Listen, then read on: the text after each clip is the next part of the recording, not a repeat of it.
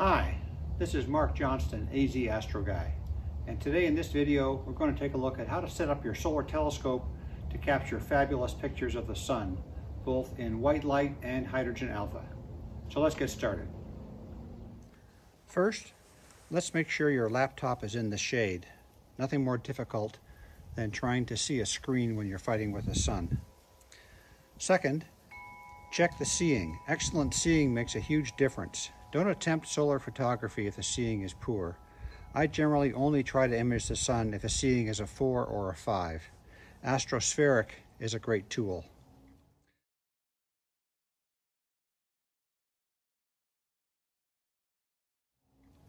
A good time for solar imaging is very early in the morning before the breezes start. You also want to avoid observing over buildings, parking lots, any kind of heat sinks or sources.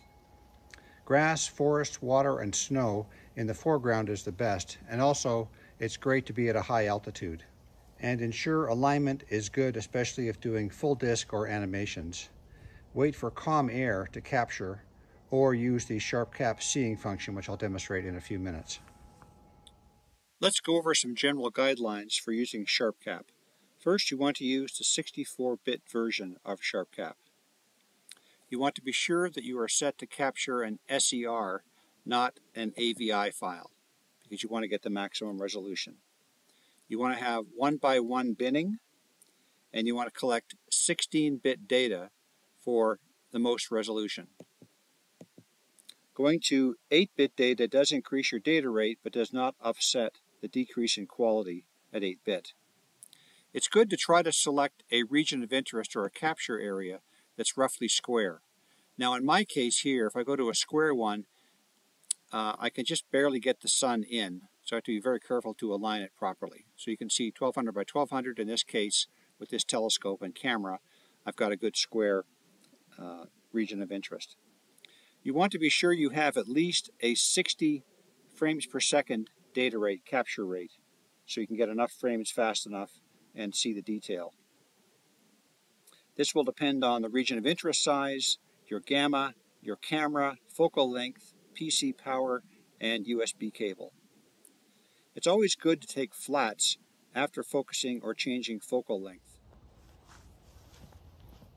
Let's look at how we capture flats when doing solar photography. First we take our flat cap panel which is basically frosted glass, and we put it over the end of the objective. And now we're going to go back to SharpCap.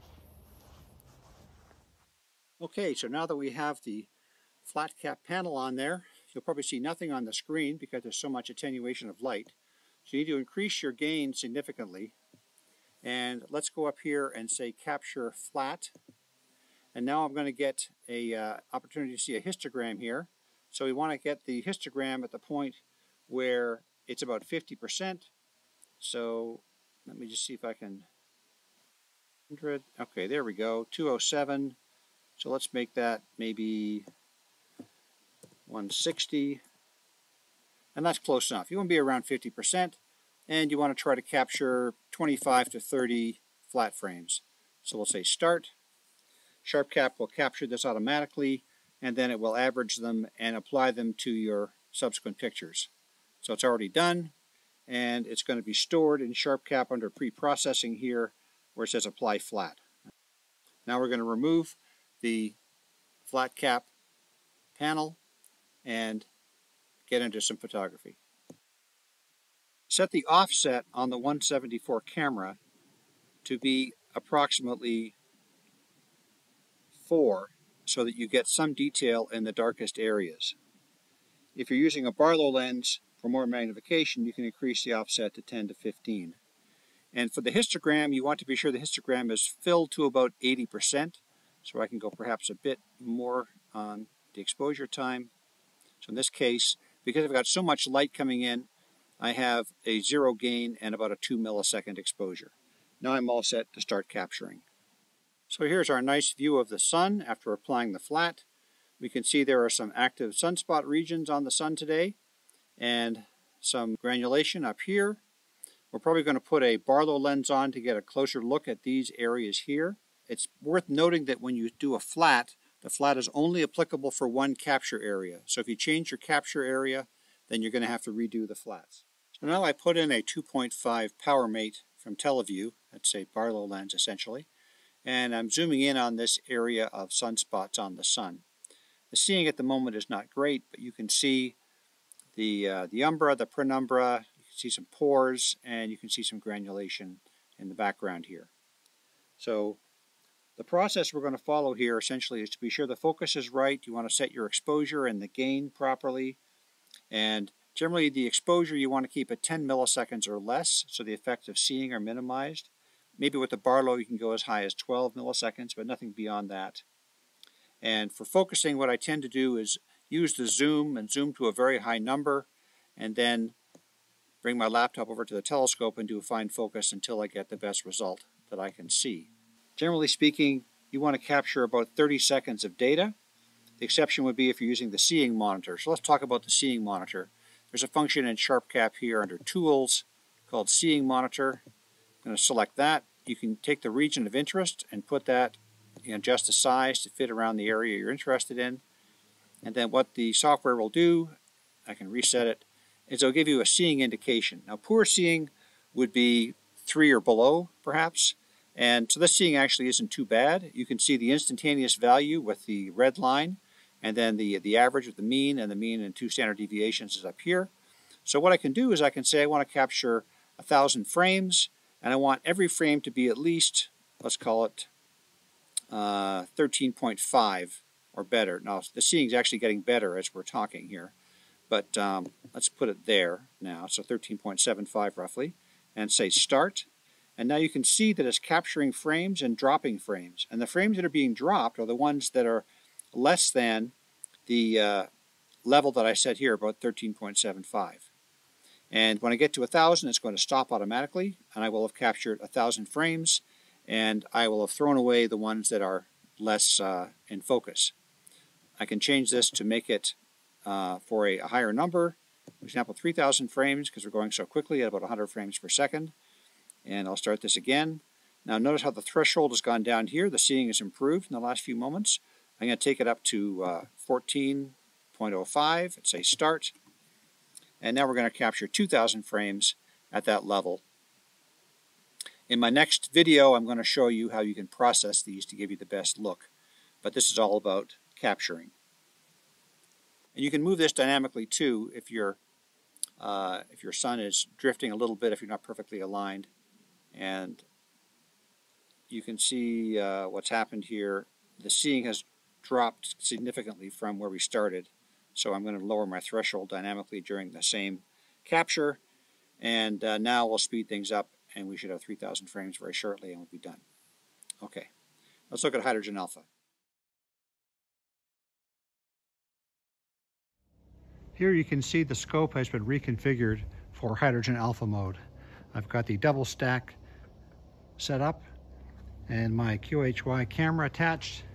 And now let's take a look and see how things look on the screen. So here's the same sun we saw earlier, now in hydrogen alpha. And you can see the same sunspot region we saw before, the twin sunspots. A great deal of more information. You can see a lot of detail here with filaments and uh, solar flares on the limb and uh, another filament down here. A lot of active going, a lot of information here. I've already run a flat to flatten out the exposure on the surface. And if I want to see where the prominences are, I can simply go to the histogram and pull the center slider to the left. And that's going to overexpose the sun. And you can see what the prominences are here. Not a lot going on, but there are some things that we can look at later. And in post-processing, we're going to make those things pull out, despite the fact you don't see them very well uh, in this view. As far as my settings are concerned, I want to have a capture rate at least 60 frames per second. I do that by minimizing the, the ROI, so I'm using the minimum black space possible. I've also got a histogram about 70 to 80% full, and I didn't want to go higher than 10 milliseconds, and so I've got 10 milliseconds and about 70 gain, what it worked out here. Your mileage will vary based on your scope and your... One of the tricks in solar photography is trying to capture the seeing so that it doesn't blur your image. And so some rules of thumb for a 100 millimeter scope that I've got here, for example, maximum about three minutes of capture for a full disk maybe 60 seconds if you're looking at granulation, 40 seconds for prominences, and about 30 seconds for spicules. You want to decrease that amount of time for larger aperture telescopes and you can increase it for less aperture telescopes. You can also experiment with single stack versus double stack on prominences. The increased brightness allows for shorter exposures and better freezing of turbulence, but you will see less surface detail, which may not be important if you want to look at the prominence. Today there isn't much going on on the limb, so we're going to focus on the disk. As far as focusing is concerned, what I tend to do is I get my telescope connected, I get a rough focus, and then I'll increase the gain significantly, and then I'll find an area of interest on the sun where there's something that I can look at, say for example here, and then I will tweak the focus back and forth until I get it as close as I can to sharpness. And then I know that I'm focused. After I'm focused, I'll do my flats, and then we'll carry on to start capturing the exposures. We can do the same trick that we did before, where you can use the seeing monitor. So let's recenter the sun a little bit here. Okay, and then what I can do is I can go under Tools, Seeing Monitor, and I can look for an area of interest. Let's say this area right here. And uh, now you can see that I'll do a reset to clear that out. We're running around uh, 12, which is not bad. It's I would say that's that's good. That's not very good or excellent, but it's good. So I can set my seeing capture at a minimum of let's say 11.9 and I want to capture a thousand frames and say start. And now it's only going to capture the frames that are better than 11.9 seeing. And you can see the latest value now is dropped from where it was when I started. Bouncing around a lot. But we're counting up frames. You can see how many are dropping and how many are capturing. The, uh, the seeing function will also cause your frame rate to drop a little bit as it's dropping. If you're dropping a lot of frames, you're going to capture less frames per second, obviously. But we're done already. So now we have a thousand captured, and you can do obviously shorter amounts to get a much faster capture. So there's only 500. If I run that, you can see it's capturing very quickly. And we'll soon be done. There we go. We're done. Hope that was helpful. And if you like that, subscribe. I'm going to do more videos like this later. Thanks for watching.